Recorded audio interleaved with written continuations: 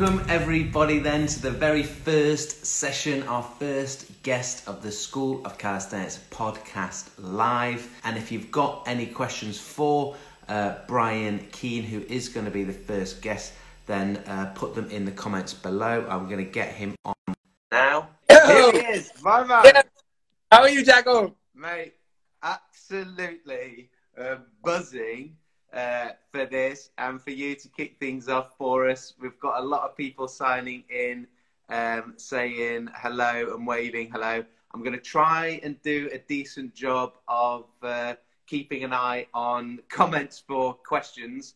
The Yes. idea about the podcast live is that we want as much interaction with and give people the chance to, to bring the podcast to life. So if people have got specific questions for Brian, put them in the comments and we will try and get through, obviously, as many of those um, as possible. When we do the podcast itself, obviously, that is a, a, an interview and a conversation with the guests, but we don't get to, or the listeners don't get to see us and uh, they don't get to ask you um, those questions on the hoof or on the fly. But um, that's the opportunity for people today. So, thank Brian, firstly, thank you for joining us. Man, my pleasure. Oh, like I was listening to you and Tim there earlier before you came on. I'm like, oh, my background is so boring compared to yours. I'm like, you got this beautiful caricature in the background, and then Tim's got this little magic thing going on in the background. I'm like, oh man, my books are so boring. yeah, but um, so the the one one shout out to do is um, Red Light Rising. They they um, sponsor our podcast and they're sponsoring the the podcast live event today. So that red light that was in the corner, that's Red Light Therapy. Um. And those guys are sponsoring love the podcast. that, So thank you to them for, for obviously sponsoring making those. Uh, Bridget Fitz really said, "You two look like brothers." Yeah, you got the memo about the hat. I know, yeah, that's it. The I hat, and we, and we've been I talking about beards. For those that are Yeah. watching, I'm like, we've been doing our beard DMs and Yeah. going, oh, beard I had a little. Yeah, Shade. I, I, I, I tried to tidy up a little bit for you, Brian. I didn't. I meant to, and I'm like, oh, I'll do it tomorrow. I'm like, locked lockdown, I forgot.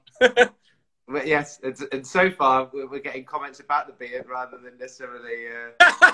That's it. It'll just be an hour of us talking about beards. Like, um, I wanted to ju- just firstly then for um, for for just really sort of really really quickly your um, little like your background, a very short snippet background of you. Like um, you know, you're, you're an author. You've written a few books and you've done some amazing um, challenges and stuff as well. Um, your what, what I wanted to sort of get into a little bit is the mindset stuff, and then a little bit around the sort of fitness and nutrition. Um, there's some questions I've got for you uh, personally, but um, yeah, give us a little bit of a background onto just yourself for those listening. yeah, so just Watching. super quick background. Uh, former primary school teacher turned personal trainer, fitness person, um, and then over the space of oh the last six years, um, I've gone from being one of those. I'm still one of those selfie Instagram twats, but I'm less of so one of those. You're, Um, you're a TikTok one now. I'm a TikTok twat now. I'm like I'm like all about the shirtless selfies on TikTok. I'm like, let's grow this TikTok. Um, but yeah, so over the last few years, I went from competing in bodybuilding, professional fitness modeling, traveling around into ultra endurance. So now I do things like Marathon des Sables. I ran to the Arctic last year. I ran 100 mile ultra marathon in February. Um, I was training for Ironman triathlon before the lockdown and before everything got cancelled. Um, and over the last few years, I moved my business online. And now I work with people to get in shape in either uh, GAA, which is the sport specific in Ireland, health and fitness, normal weight loss, muscle building, um, or consulting people on their fitness business online. And I, over the couple of years, I wrote a few books. Um, yeah, and now I just chill out really and train and work out and like try and do handstand put like stuff when I can. I'm like, oh, I need to do more of what the lads are doing. But that's that's another story for another day. Where I'm like, right, human flag, human flag. That's that's what I said. I said after the. Arctic. I feel so bad, like, because I said after the Arctic, I'm like, right, human flag. I'm like, I'm gonna fucking Yeah. pick on Tim. I'm open. I'm allowed. To, I'm allowed to swear. It's Instagram live, and yeah. so I was like, Tim and Jack, I'm gonna pick the brain, get the human flag, and then I'm like, I went to this shiny object thing over here, and I went to else. So I'm coming back to it. It's on yeah, the we talked. Um, we, you, you, when you were on the podcast, it was before you'd done the Arctic, I think, Mhm. and you were gonna you were gonna come to Nottingham for the event that we were gonna do today. That was Yeah. before Corona sort of put that to, to bed or or made us take it online. And yes, we talked about the human flag. We may we'll we will we will hook that up for sure. We've got um, you know Ben Shepherd from um, Good Morning TV and Yeah. Ninja Warrior. Yeah, he, yeah. um, he came to one of our first. He came to one of our early workshops a couple of years ago, and he loves like with the Ninja Warrior stuff. He loves it, and um, he he's got handstand and human flag on his radar as well. Right.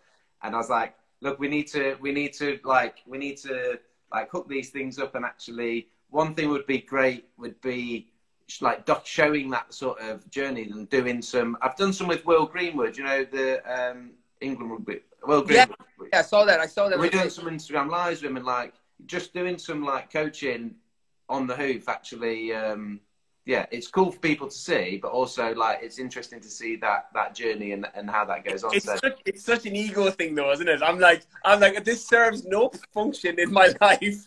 like, I run ultra marathons, I do triathlon. I'm like, it serves no purpose. But I'm like, I still want to be able to do it and just be like going up to the side of a bar and just flaking up on the side. So, um, yeah. Well, it- but from a, from a mindset perspective, what I want to talk you, one of the things I want to talk to you about first is um, we've got and we've got some questions about ultra running, which is good. But one of the things is that for you to go right, I'm gonna. You've done all these amazing things, and then go right. I'm gonna do. I'm gonna try and do human flag. But from a mindset perspective, when you first try and do it, you're gonna feel horrible. You're gonna feel terrible. You're gonna feel weak. It's gonna like reduce you to like going from I'm I'm I'm good at training, I'm strong, and I can do this, and then you go into this position, it's like, oh man, that feels impossible. If you think of um, Ross Edgley, we did we did this like we did the we did a session with him, um, and he's a beast. So actually, 45 minutes later, he held a human flag for a couple yeah, of seconds. no, that doesn't surprise me at all. But when we, but but when we the first thing we showed him, he was like, "Man, this nails!" Like it, it, like, it reduced him initially until his body figured it out. It reduced him to a normal person. He was just like me and you. but then 45 minutes later, but that's because he's a that's because he's a beast. Cross Um, so Yeah. it will it will be good to um, we always we talk about it like calisthenics when you test when you try something out that you've never done before it definitely like humbles you Yeah. um, and you learn I think you learn a lot about yourself during those phases of going like I'm going to try this thing that feels impossible the whole redefining impossible for us and and going I'm gonna I'm gonna I'm gonna sort of expose myself to that feeling of weakness that's not just physical but it's also mental um, and then challenge up and then and then go through that. So from a you know you've you've done a number of challenges just from this mindset perspective and um, what were the titles of your um, of your books on mindset So uh, the fitness mindset was the first one, and then rewire your mindset was the last one, the latest one. That that rewire your mindset is uh, is all about mindset. Uh, the fitness mindset, fitness element, obviously, to it as well. Um, but yeah, the rewire your mindset feedback on that one particularly, even though the first book was a multi-time bestseller for. Because it just did really well. This Yeah. book on a lot deeper, so the people that have read it have been like, "Oh my god!" Um, so the feedback's been incredible. But again, I've lived a lot of it, so I think I, documenting that down in a book has probably been the reason that it's helped people. Yeah, yeah. So from a um, from a mindset perspective, how would you like? What some of the things that you've learned the most from some of those challenges and things that you've done? Um, Well, similar to what you there, Jacko. Like it's funny because I see a couple of questions coming in, ultra running questions below. But Yeah. like I, I'm very vocal on my channels how much I hate running. Um, like like I hate it. I, I don't enjoy it at all. Um, but it's not the reason why I do it. So like people that don't. Anyone that's on here, I generally don't look like an ultra runner for the most part, you know, and I'm probably putting that lightly in terms how of I'm tall are you? five eight, like I'm yeah. And you, you, he's Yeah, Check- yeah. check out still, some- still like a hobbit, like little short arms, but like it's good, you know, stocky, like strong. yeah, yeah. I'm like people turn to the side, make yourself look bigger. It's fine. Mesomorph. Shoot- shoot Look, look tall. We're up platforms. Um, but yeah, so I'm not built like an ultra runner, so I don't find running easy at all. So when even when you're saying about the human flag, I still don't find running easy. Um, as, as even as I get better with it, it's still not easy. Partly because I don't enjoy it at all. Um, like I love weight training, I love calisthenic work, body weight work, I love CrossFit workouts, I love anything in that realm, but I don't enjoy running. So what I get so much from either the challenges, and to be honest, Jacko, as big as say Marathon des Sables was, which is six back-to-back marathons through the Sahara Desert, self-sufficient for anyone unfamiliar with it, or the Arctic, which was 230 kilometers through the Arctic. They were difficult for obvious reasons, but the training was just as difficult because it's mind-numbing to jump on a treadmill for 30 kilometers on a training day. Like it just, it, it just sucks your soul. Like, yeah. but because of that, you mindset wise and mentally, it makes everything else feel so much easier. And the reason it's funny because the reason I signed up for, say, for example, Marathon des Sables, which was 2018, Arctic, which was 2019, and I ran a 100 mile ultra marathon in February of this year. And the reason I signed up to those three is because I wasn't sure if I could complete all three. Like they, before I had signed up, I'm like, I don't know if I can run six back to back marathons. And then I said, I don't know if I can run through the Arctic. And then I had the 100 miler. I'm like, I don't know if I can run a 100 mile. It, it took me 26 and a half hours. I was trying to do it in 24.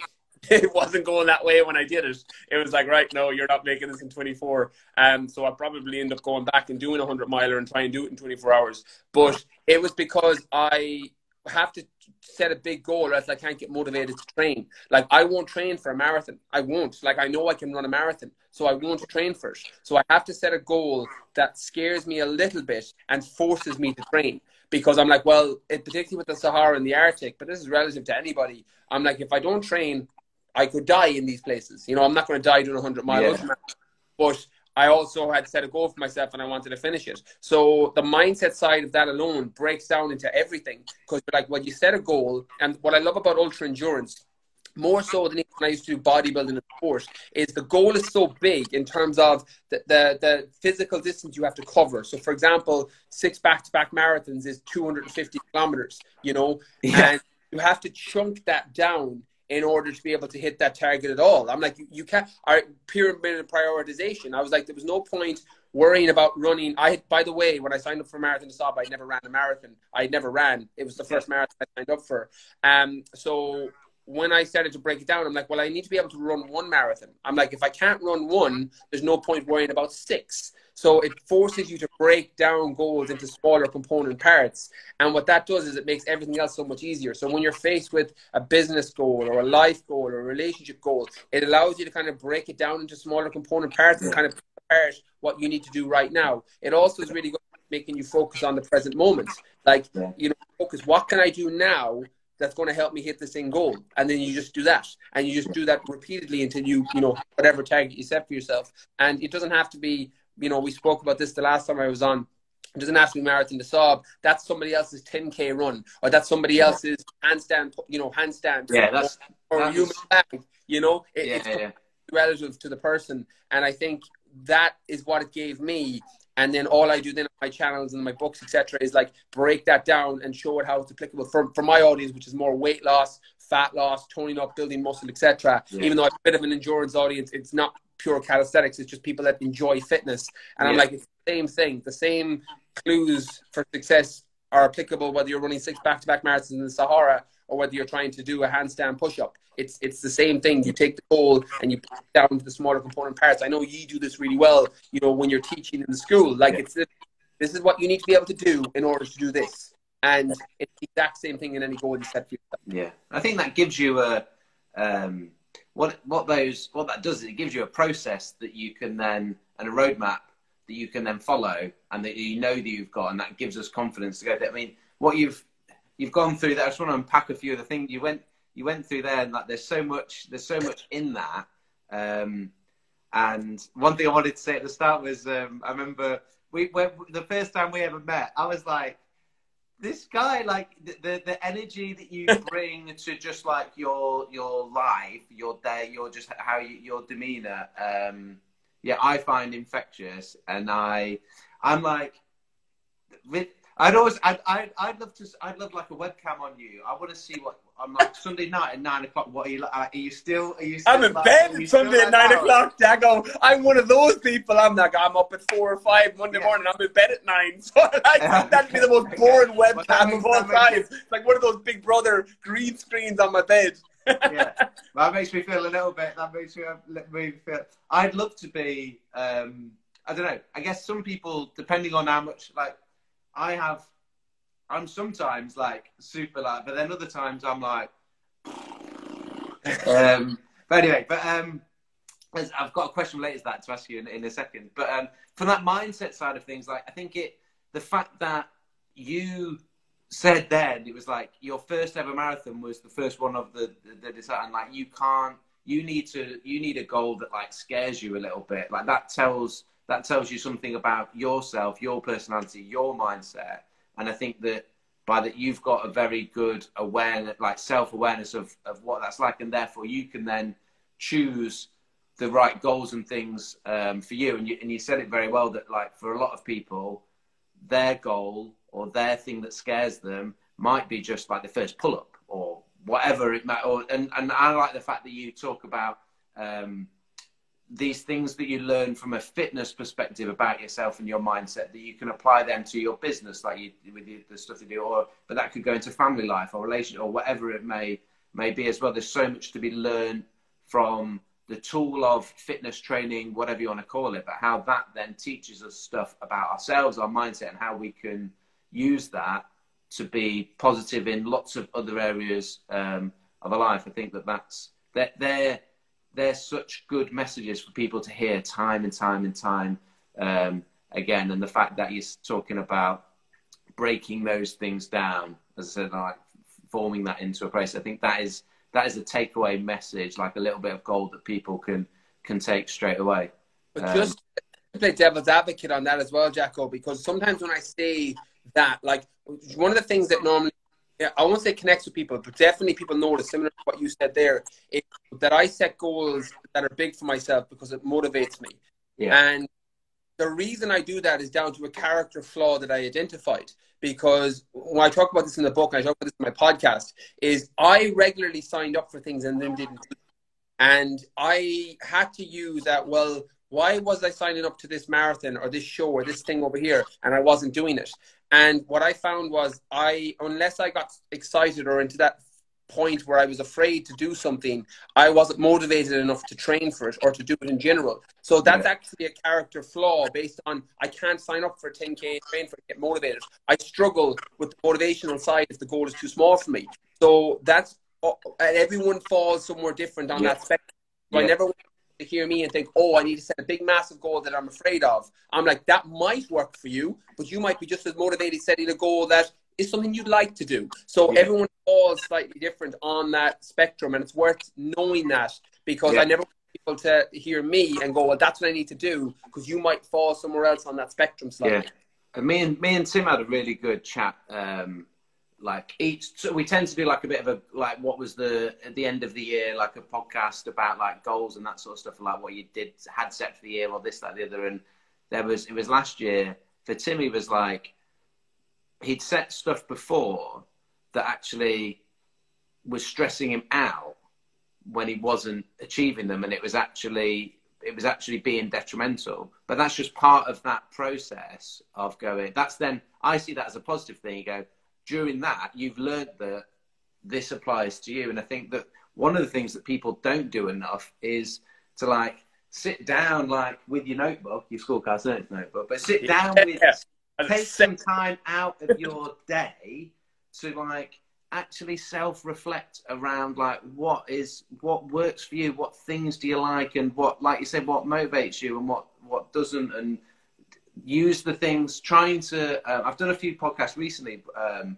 where talking about things not necessarily being like good or bad like just going that was an experience. What did i learn from it? And what did i learn from it about myself? And it's not about being um, selfish. It's like we need to do a little bit of that because if you start to understand yourself better you can apply yourself better in this world then you're going to be more a, a, a better positive effect um, on other people.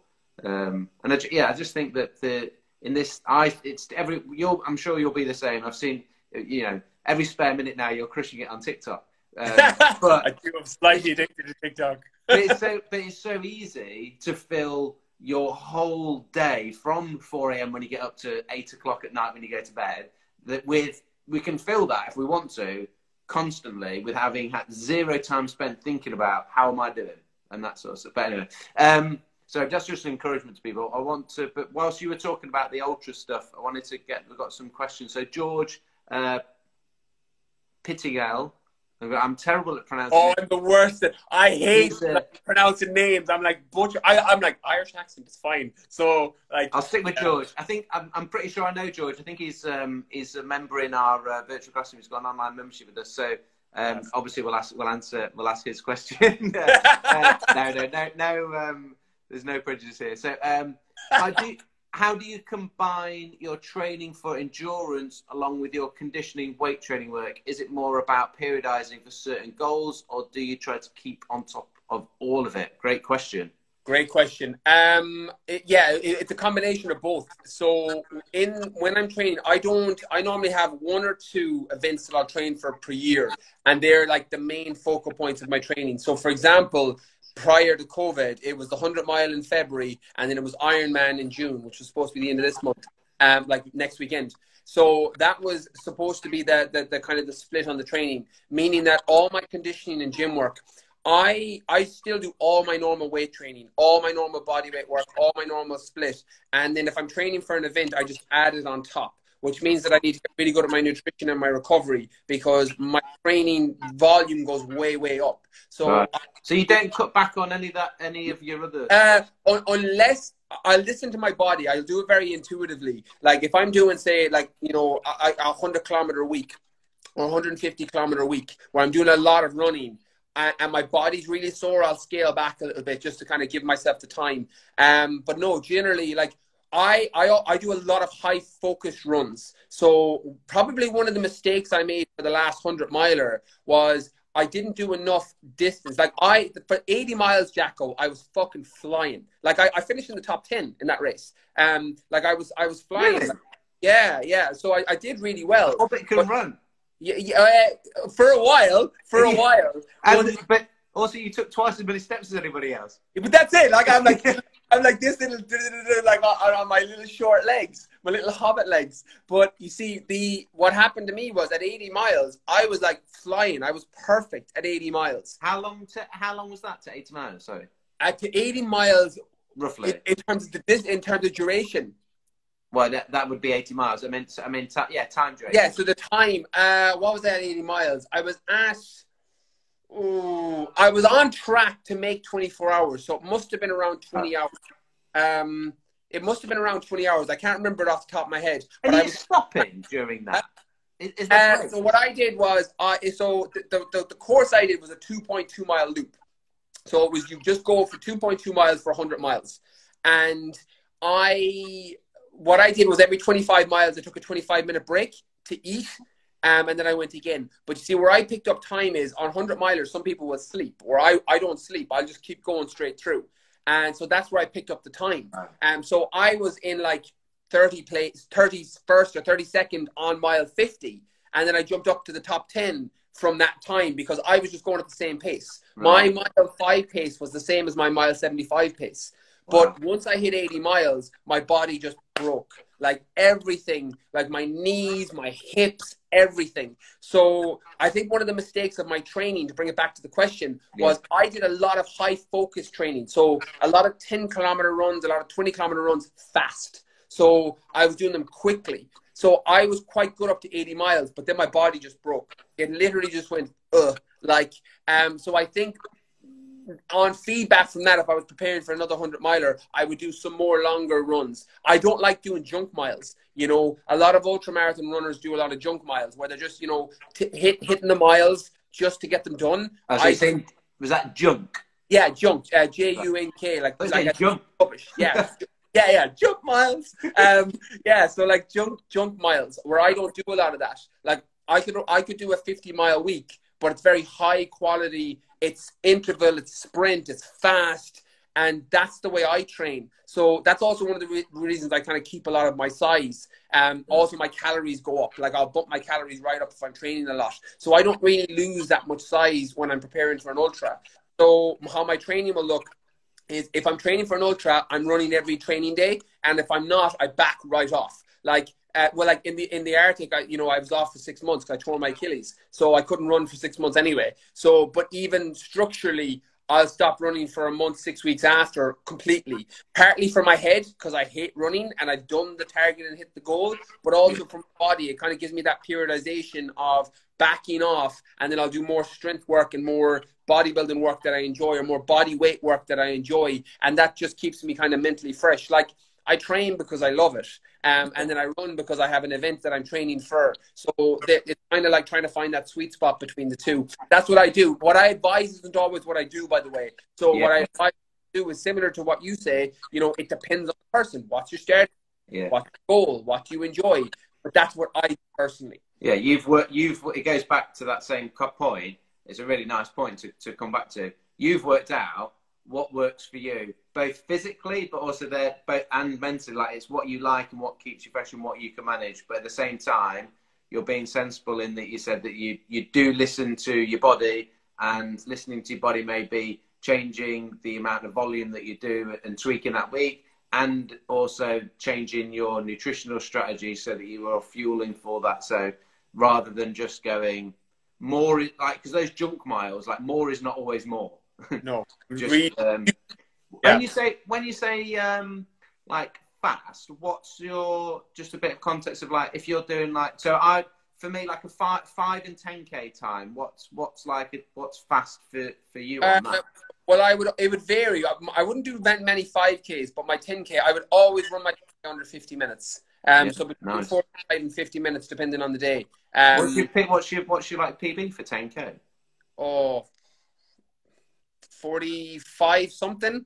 Um, yeah, 45. It's fine. Like it's not. Yeah. There's way faster runners than me, um, and I'm not a gifted runner by any stretch. Like, yeah. but if you can keep that going. Yes, and the, and the thing is, those will be in consecutive days. I do a lot of consecutive runs, so I could do I could do ten or twenty kilometers five days in a row. So that's that's how my training. Yeah, yeah. Think, yeah. I'm thinking um, on Thursday we went out for a walk in the Peak District for, for my wife's birthday, and I was sore as anything. Like we were out for four and a, we did like one little peak. We are out for four and a half hours, and like the next day, I'm sore as anything. Like I couldn't even didn't even want to do like a body weight squat or anything else. And like I've done a like I could I've I think the furthest I've done a half marathon, not as an organised event, like just actually just did one, and it just that that that total volume of work just like ruined my body for like as in you know like you're saying your hips your knees and everything and like being able to like i think i think i've done a 42 minute 10k but i'm like that's dying as yeah but i'm like yeah. those long, the long I, I pass out across the finish line and i'm done for a week. Um, yeah. the the ability to be able to back those things up i think is very very very interesting. Um it, and it's, it's an interesting, as you said, like um, your bo- the thing is, it's an adapt adaptation. You know this with, with calisthenics. Like your body adapts. Like mm. as you, one of the things I always tell people is it becomes your new normal. Like and never to jump into what I do or what somebody else does. Like when I'm training for an event, I'm training for it, and my entire week is structured around doing five sessions or six sessions with this amount of speed for this distance, and your body becomes accustomed. You didn't jump there overnight. It's the same as going right. Here's your human flag. It's like mm-hmm. that's not that no one ever like it, it takes the progression of building up and so it's always worth keeping in mind that when you know just because i know there's a couple of ultra runners that yeah. here always have your baseline as your starting point and then build upon that because the reason you'd be sore after say going fast for 10k well that's a fast 10k is your body hasn't adapted to it either. Like if i go out and run you know 30 kilometers after not having ran for six weeks i can't walk for two days. So you know and it's just your, your body will adapt to it but you have to kind of gradually build as well. Yeah. There was so there was a question when we were talking about your training there was a question um, Trollkin about what does your uh, leg work, what does your leg training look like as an ultra runner? There's probably two. It sounds like there's potentially two parts because you've got your what you would just do, as you say, normally, and then do you do anything different for your legs for? I think that's only, questions about like pistol squats. Yeah, the only diff- I don't do. Okay. I don't do pistol squats. I do a lot of unilateral work though. If I'm training for um, if I'm training for an event or I've got an ultra marathon coming up, I'll do a lot of single leg work. So um, not so much pistol squats, but I'll do work off of one leg. So that I'll do um, jumps from one side or off a box on a single leg. More because depending on the course, like I'll always reverse my training based on the course. So because the last one was relatively flat, it was in Nevada desert, but it was relatively flat. I did a little bit of work on stability just because there'd be rocks and gravel, but it wasn't too bad. Whereas when I did say Marathon des Sables, which was six back-to-back marathons, I did massive volume on my legs. Like I was doing 300, 400, 500 rep workouts on squats and lunges, and then I would go run because I had to condition my legs to be able to do multi-day work. So yeah. the, the, strategy was there. Uh, when I when I was training for the Arctic, I did loads of stuff on lunges. I did so many lunges because when you're running through the ice or running through snow, you can drop off very fast, and that can lead to injury. So I did a lot of work that required variations of movement patterns that were lunges, overhead, normal, weighted, body weight, the whole lot. Um, so I'll always on the course or based on what I'm training for, I will revert like you know my, my background strength and conditioning coach. Yeah.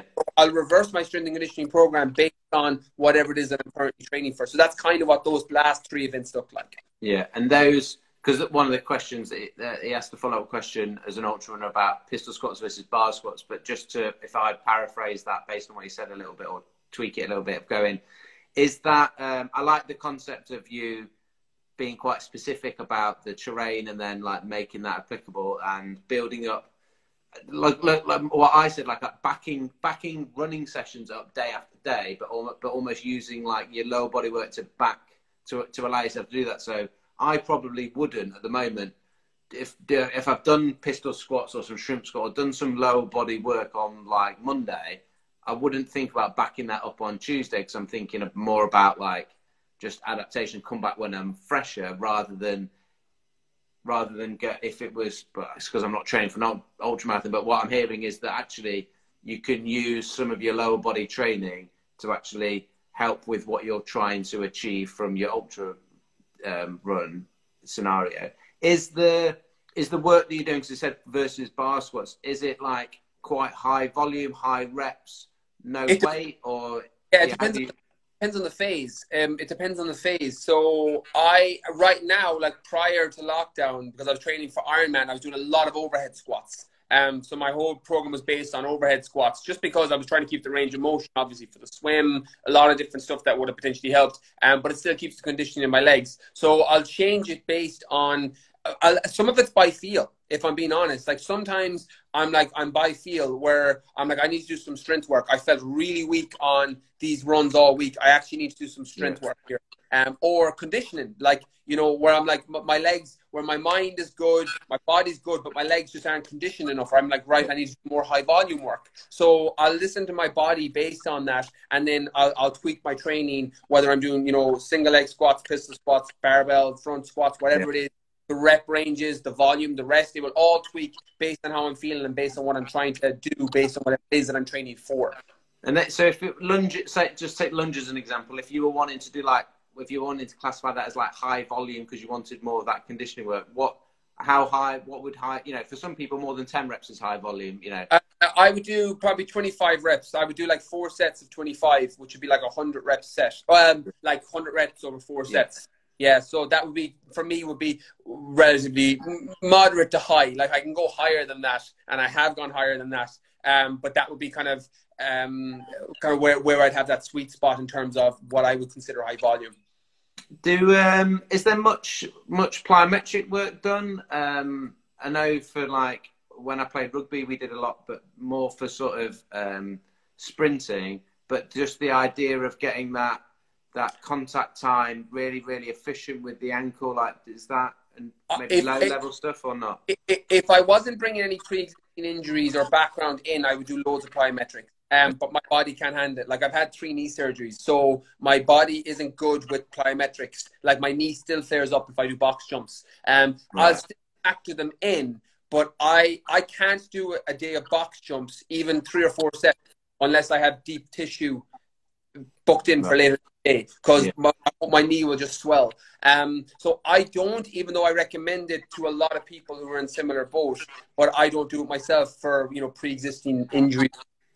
Yeah, let's um, last couple of um, whilst we're on the ultras. There's some of those. So Donald Rogers, how long out from ultras do you start training? Uh, depends on the ultra. Like depends on the ultra, hundred percent. Like um, if I was training, for example, for anything fifty miles or under, a couple of few weeks. Um, and anything that's 100 miles or over or consecutive days, I would give myself at least three months, um, ideally six, just so that I can ease in so I don't have to like ramp things up too fast. Cool. Um, and again, comes back to knowing what some of that's going to be based on your training background now. Like that's, I think one of the things with like questions is we ask, we ask like me as the if I was asking you a question, I ask you a question that's very specific to me, and yeah. you can only you give like the answer in the context of yourself, and the the wider thing is you always say like it depends. So what recommend? Yeah, your, yeah, yeah, your background. You know, someone else might be able to do less than that. Someone might need yeah. more than that. Um, so it comes back around to knowing where we're ourselves. Um, Owl Tonian, is your training for ultras? Um, is it your main aim just to complete complete it for self satisfaction or to be genuinely competitive? He was top ten. Right here, top ten oh, after eighty miles. It's a good question. Um, you, completion is normally my goal. Um, and the 100 miler, I, I didn't care at all about the, the results. It was all about finishing the 100 miles. And ideally, I was trying to do it in the 24 hours. Um, but that didn't happen. It just didn't go that way. You know, it's the, the nature of the beast with an ultramarathon. Uh, it depends. Like, the thing is, when I started them, they're all about completion. But as you get better, you, your your bar moves higher. You know this. Like you know when you go from rugby to calisthenics, you're like, oh, I'm I'm good at these. I I can get better at this. And then you're like, well, I want to be able to do this move. So as you get more confident and do it more, your goals change. So when I did Marathon des Sables, I was like, I just need to not die. I just need to finish this, you know. Um, but now when I'm looking at the hundred miler, I'm like, right, like my plan. I have a couple of things. Depends on how COVID goes. But if I do a hundred miler again, I'm like, I want to do it in 24 hours. Now, if that places me in the top five, great. But my goal, I'm never going to work to a place. I'm like, I have no control over a placing, but I can work to I want to hit it within 24 hours, which is still a goal of mine um, because it just didn't happen on the first go round. So I'll go back and I'll attempt it again. So it, it depends. Like at the beginning, that's what it was for self satisfaction. But then as you get better, your bar moves. Yeah, yeah. Oh, I think that depending on depending on mindset and person, I think of. Um, it was interesting you saying about like running. You know, when you said about running on a treadmill just being like mind-numbingly boring. When I like I retired from rugby in 2013 with a head injury, and it took me a year to be able to run without getting a headache. Um, and when I could get back to running, I wanted to be able to run, but I was so bad at running at that point. I remember um, my wife was uh, she used to play football, and she was pretty. She's she's a good runner, and so it was even more depressing. There's nothing worse than just getting beaten by your wife at everything, is there? um, so that was I had that to deal with as well. But um, I remember going on the treadmill. I was never a big fan of treadmills anyway, but I tried to do 5k on the treadmill and I stopped after about 30 seconds because just I just couldn't deal with it mentally. Um, but when I got to the point of like I, um, it just makes me think of going to going to park run do my you do your first part where you're like, okay, yeah, this is fun. Next one, I'm like, ah, I'm at the front. I'm like, I'm yeah, yeah, completely. You're the, the, the yells, the the band over your head. You're like, like, like, if I, regardless of whether this is a little bit stupid, but this is what I know what I'm like. Regardless of whether I've trained for it or not, if I randomly go and turn up at park run, I'm there for a PB. Like, yeah, yeah, that's awesome. yeah. But um, there was a question about just uh, this is, and they were just in uh, some mindset stuff. So there's a question from um, Splunking Whoosh. Um, That's a you, great handle. If you hate running, what do you do to distract yourself while you're doing it? I've got and I've got a question that I want to sort of mix in with this. That um, I put out a post yesterday about. Um, I, I just finished training and I was feeling I was I was I was feeling really good about myself. I was feeling physically feeling good, mentally feeling good, and I was being very uh, grateful, practicing some gratitude of, of, of, and just appreciating that. And my mind moved to a place of like, how do I create, how do I create this feeling when I'm not feeling good? Does that make sense? Like my challenge to myself was, how do I, when I'm, when things in life are not going well and when I'm not feeling happy, how do I still manage to like appreciate and get into that type of of headspace. So it's a it's a mindset question around like when you're not feeling it, where do we go with our mindset to try and, and flip that on its head? Um, the same with that. So that like that specific example, like you're running and you're not feeling it. Like how do you how do you how do you, have you got any tips for people on that? I'm going to give you the answer and then I'm going to dissect it because the answer is you just do it. Like that. That's that's the Nice. answer. Um, but I am I am going to dissect that because it's not as straightforward as that. It's as simple as that, but it's not as e- it's not as easy as that. Um, one of the quotes I live by is like one of my mentors used to always tell me that successful people do what they have to do whether they feel like it or not. I'm like that. That's been tattooed on my brain. And when I think of running, I've never and, and I can say this wholeheartedly, Jacko. I've never had a day that I've looked forward to running ever. Like I, I just don't enjoy it. So that's why I get so much from it because every day I run, it forces me to do something I don't want to do. So what I do is I talk, I call them like the anchors of self discipline. So they're in the book. I talk about them on the podcast for free, the whole lot. So I do two things every day that I don't want to do. One is I get up early. I'm not a morning person. Right? We joked earlier. I got, I'm not. I'm, I'm a night owl by nature. If you just left me to my default, I like I get up every day at four or five a.m. and I would be closer going to bed at that time. Like if you just if you left me to my own devices, I'm I'm way closer to a night owl. So I force myself to get up. I'm loving you even more, Brian. I'm loving you Huh? even more. I'm loving you even more. I love it. Yeah, yes, it is. And it's, it's the it's the God's honest truth, and it's the same with running. So I try and anchor my day in both of those things. So it forces me to do things that I don't want to do. So when you get into that habit, it makes everything else so much easier. Like eh, difficult conversations, work tasks, everything is so much easier because you're like, right, I have to do this thing over here. I don't fucking care how I feel. I just have to go do it. And you're conditioning yourself by doing that every day. Like it's like the analogy I use is like laying bricks, you know, when you're building a wall. Like anytime I ever get overwhelmed by a goal, I'm like, well, the Great Wall of China started with a brick on top of another brick, on top of another brick, until there's the Great Wall of China. So it, it's talking about what we said earlier, you're breaking things down. And if you're trying to get better at doing things that you know you have to do, you break that down. You do what can I do today that's going to help me build a little bit of self discipline so I do the things I have to do, whether I feel like it or not.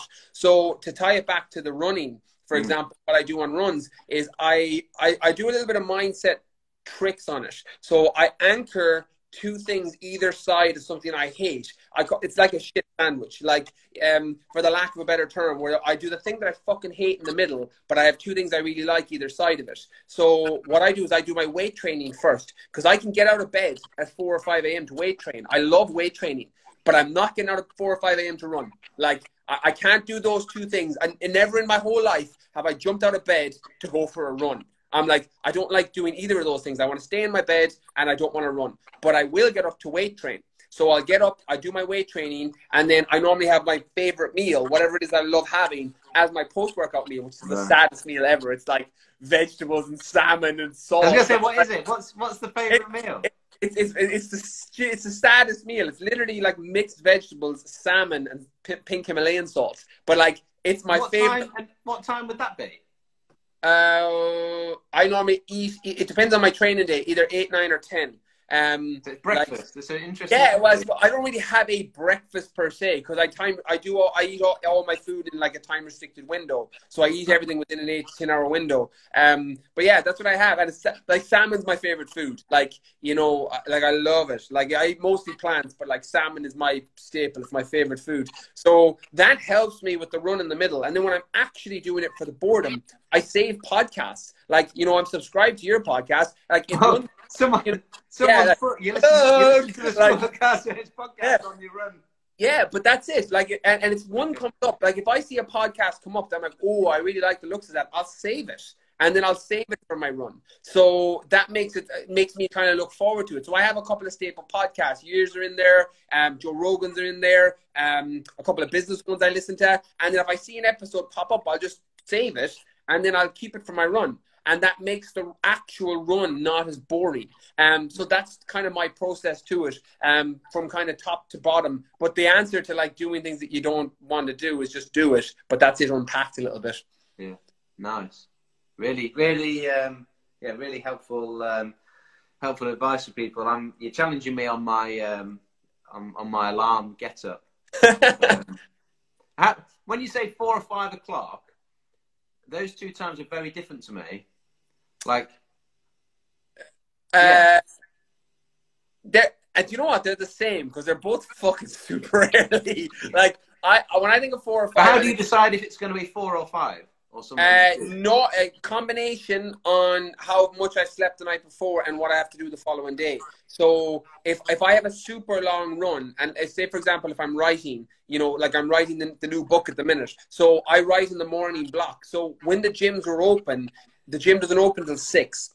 Right. So I would drive to the gym and then I have an hour, an hour and a bit to write, and I would just write in my car, or I would do my emails, or I would do my messages, or whatever it was before uh, the gym. Um, so it depends on how much I have. Like if I have, because I batch my podcast as well. So when I'm recording podcasts, I try and do several in a day.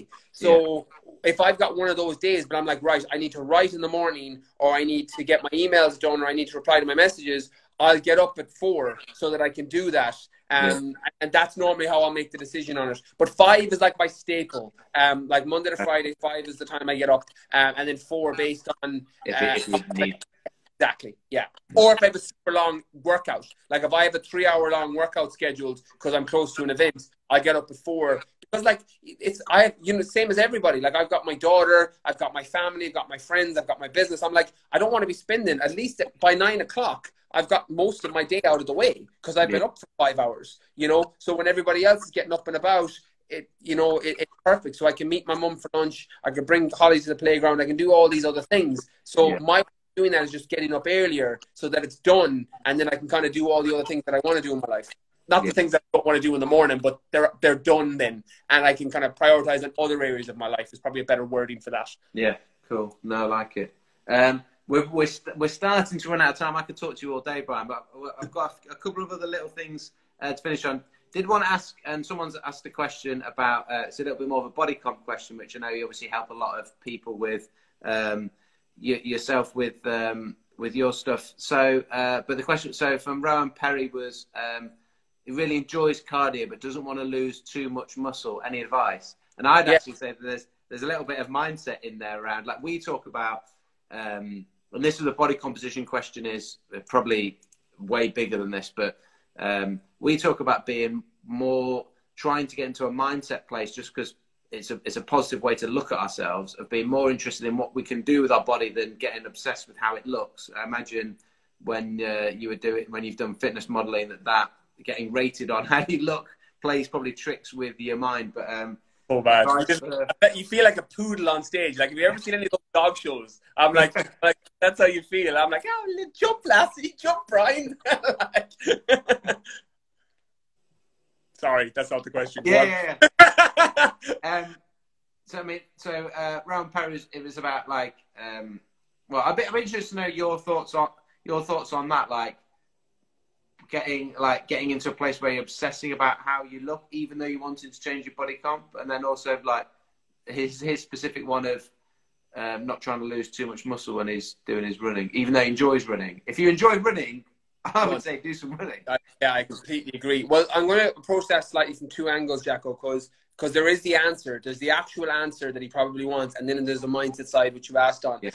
Mindset side, I always think of body composition, and it's funny because we've talked about ultra endurance. I don't prep anybody for ultra endurance. All my people I work with are yeah. body because that's my area of expertise. I'm like, endurance is just something I do over here because I have time and I like doing it, you know, in terms of challenging myself. Body composition is, you know, sports nutrition is my background, nutritionist, personal trainer, etc. So what I generally tell people when it comes to obsessing on body, and I love your message on this, it's very similar to mine, is I, I'm all about getting to great shape. But don't think that all your happiness and confidence is yeah. in the, this end. You know, the, the thing and that's the thing you know i call it in my book the, the i'll be happy when fallacy you know i'll be happy when i hit this weight i'll be happy when i build this muscle i'll be happy when i do this thing and i think it's really important to identify and understand that ooh, that's not where it comes from so if that's where you're at and you're like well when i look this way I'm going to feel this thing. I'm like, that might not happen. So just be mindful of that in the front end. Now we could unpick that. That's a whole other podcast. So yeah. I won't spend time on it. But the actual answer in terms of the, the physiology and the, the, the, the response of mm, if you enjoy running, as Jacko said, run. Like I couldn't I couldn't be a bigger believer in doing something that you enjoy, especially in physical fitness, purely because it's what you're going to be able to stick to. Is it better than swimming? I don't know. But if you enjoy running, you should run. Like, yeah, if you, if you enjoy it, if you don't enjoy spinning, it's better than spinning. couldn't agree. with Like perfect. Like that's exactly it.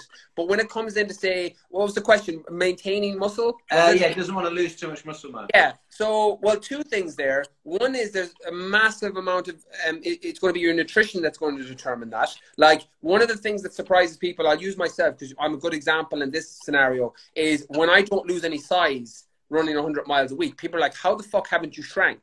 I'm like, well, a couple of things. One, I'm not, I'm not built to be skinny. Like I couldn't be skinny even if I ran 600 miles a week. My body do it. It just doesn't shrink. Little hobbit builds. So that's one. So there's a genetic component and a, a muscle memory component. But two, my nutrition goes up. As in, I, my calories go way up. If I'm running 100 miles a week on top of my training, I'll double my calories. Like I could be eating 5,000 calories a day, like comfortably. And so that'll go up. So you don't lose that size. So it's a nutritional thing. And people will say, look, I'm thinking of running 20 miles a week. Will I lose all my size? I'm like, well, not if you lose your, not if you dial in your nutrition. I'm like, that's not a massive amount of mileage. I'm like, you could run a marathon every single week and not lose any muscle if your nutrition was in alignment with that output. Like it's calories in, calories out. So you calories back in, but provided you do that, you'll have no problem. Uh, but what I'd also say there is like um, what I do in my training, and this might be helpful for the person that asked the question, is a MED on resistance training, which is a minimum effective dose for size. Yeah. So you don't actually have to do that much, whether it's hypertrophy, bodyweight calisthenics, if you've got good genetics for that, um, or CrossFit style workouts, whatever it is you're doing, a minimum effective dose on weight training, resistance training in some form is going to preserve all that muscle you have. Again, context is key. There's genetic components. Some people are going to lose weight faster. Some people are going to gain weight faster. There's lots of other things there, but that's the actual answer. Um, but as Jacko, as you said, the mindset side is such a big key as well to not think that I'll be happy when I look a certain way because that's not the case in a lot of instances with people. Yeah, I think you'll be happy when you eat when we start uh, accepting ourselves. yeah, yeah, but that's it. Like, that's, it goes a bit back to that question that um, or that thing that I mentioned around going like, how can I be? How can it's almost like how can I be happy when I'm sad? In a weird way, like that's where it's which I think is that's then the question of like contentment. That's a, a whole another. We'll go we'll go in, we'll go miles off. Um, yeah. But um, yeah, that's uh, I like that. Yeah, I like that approach. I think that there's some some stuff around feeling good because like you know when we look good it does help us feel good but it just needs to be understood in that context of like what's actually good for you for you mentally. If you're that's what i was going to say if you're stressing like literally stressing getting stressed about worrying about losing muscle when you're running that's probably going to be the thing that will make you lose muscle more so than the actual running if you like you say if you've got your nutrition on um, if you give your body the when you're talking about um, minimum effective dose, if we give the body a reason to maintain that muscle mass, like that small amount of stimulation, it's much more. It's likely to want to to keep it. I'm going to add one more point there as well that comes up a lot in my channels, which might be helpful because you made a great point. Muscle maintenance is not the same as muscle building. Yeah. So maintaining muscle is significantly easier with an increase in running or training volume than building muscle is. Like if you're trying to run a marathon and you're trying to build muscle, it's not that you can't do both. It's just that those goals are pulling from opposite sides. You can, it's just harder. Whereas m- maintaining muscle and running for a marathon or an ultra isn't super difficult because you can adjust things. So not to confuse the two as well, because muscle maintenance and what you have versus muscle building are two different things. Yeah. Yeah. Brilliant. Right, Brian, we're going to uh, we're going to wrap it up uh, there. We've gone. We're supposed to be. We're supposed to be thirty minutes to forty-five minutes. We're up to fifty-five. Yeah, uh, yeah. I was like, the oh, next guest. Yeah, no, the next. Yeah. The next. Apologies. Guest, that's um, totally my fault. the next guest, uh, Ollie uh, Ollie Frost, is up with uh, Tim in literally four minutes' time. So we're going to jump off. But um, thank you so much for coming on. Um, you've gained one new. Someone has said, "Written, I'm going to have to follow Brian now." So you've gained yes. one new follower. It was. Oh fuck! I'll take it. Welcome to my page. if, you, if you don't follow, yeah, if you don't, if you if you're signing in for the first time and this is your first experience of Brian, where have you been? Um, and to go, make sure you do go over and give him a follow. Um, thank you everyone for for watching. Keep up. We've got another eleven amazing guests coming up uh, for the rest of the day. Uh, Brian, we need to get you onto the podcast again because I think there's a load more stuff that we get that we can talk to. Uh, we'll, to we'll talk double about. back on mine as well. We'll, we'll double it over. Yeah, get- yeah, yeah, yeah. Let's let's talk about and I will let I'll get I'll personally get in touch with you about sorting out your human flag journey. yeah, love it, love it. Jacko, thank you so much again, No. mate. Have a killer day and enjoy. Cheers, guys.